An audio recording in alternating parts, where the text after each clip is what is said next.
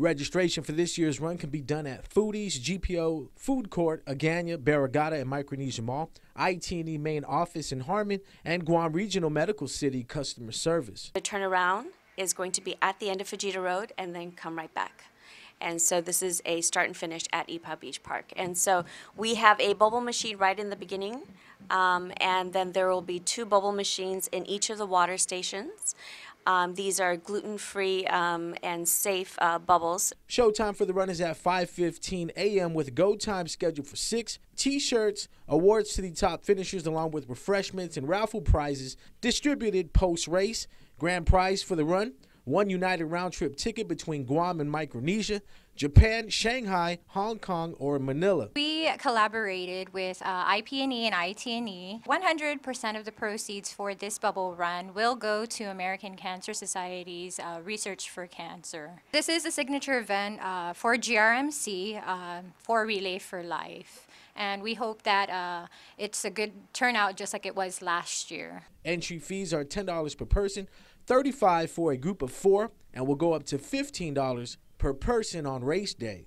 346 competitors took part in the Trench Kids obstacle course held at the Guam International Raceway Park in Yigo. The course consisting of a rope climb, the big catch, wall ramp, tunnels, battle crawl, ninja steps, mud pit, reverse slide through a tunnel, Titan inflatable, and for the older kids, there was a wall traverse. We have a little bit of experience with, with our uh, adult event and we wanted to make something more uh, kid friendly so we did uh, come up with some, uh, some obstacles that were uh, easier um, but yet same time um, fun.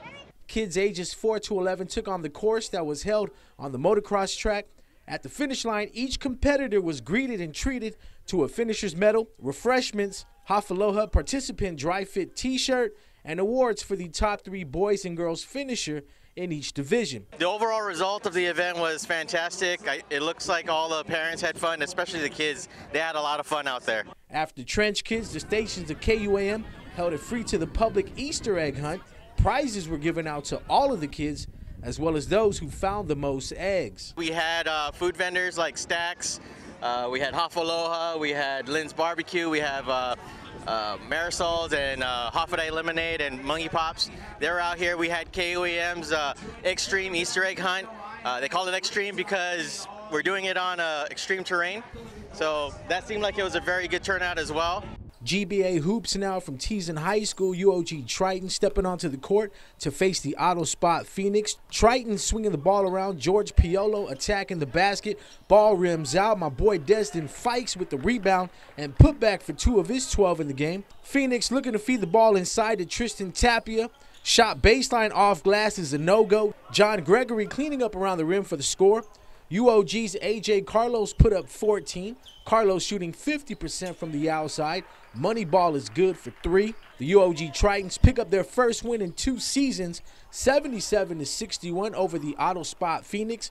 Ryan Nagauta 17 points in the dub. Romeo Sanchez with 13 in his team's losing effort. The MVP Stars stay unbeaten behind their 109-95 win against MacTech. JP Cruz 52 points, 8 of 15 from three-point range. Joe Blas added 26. Jonathan Triplett 19 in the loss for MacTech. Last game of the day, KFC Bombers big win 90 to 64 over the Tooth Fairies. Raheem Trayan led all scorers in the win with 24. Edgardo Baza and Alfredo Royster both with 15 in their team's loss.